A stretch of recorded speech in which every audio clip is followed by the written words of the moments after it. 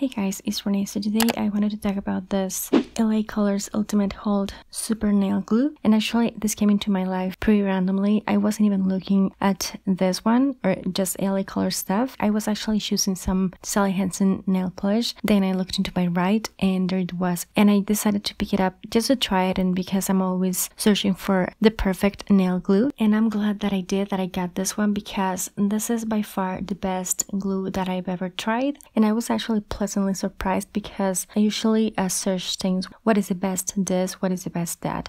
Check out like reviews, a lot of them.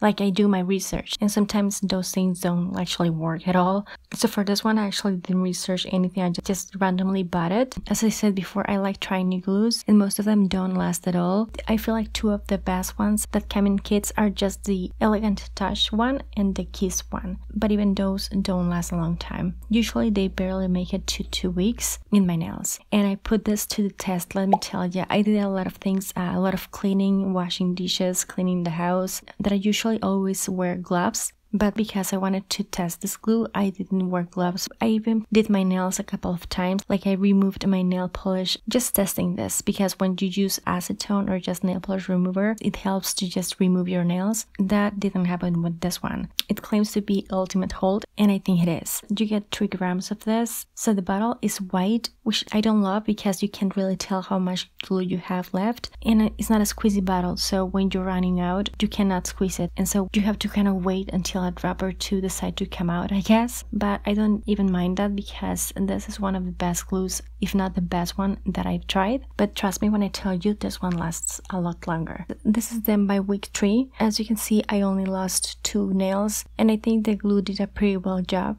because by week 3, with most glues, I wouldn't have any nails left. I actually always wanted to see some nail growth with my press-ons and I never did that until now. It actually smells different, a bit stronger, not too much though, but it's more like the glue that they used when you go get your nails done. I bet yeah, I just wanted to share this one just in case you have seen it and were wondering if it works. It does. But yeah, if you like this find this helpful, give this video a thumbs up and share this. Check out more nail care that I have on my channel. Thank you so much for watching. I'll talk to you later and take care. Bye.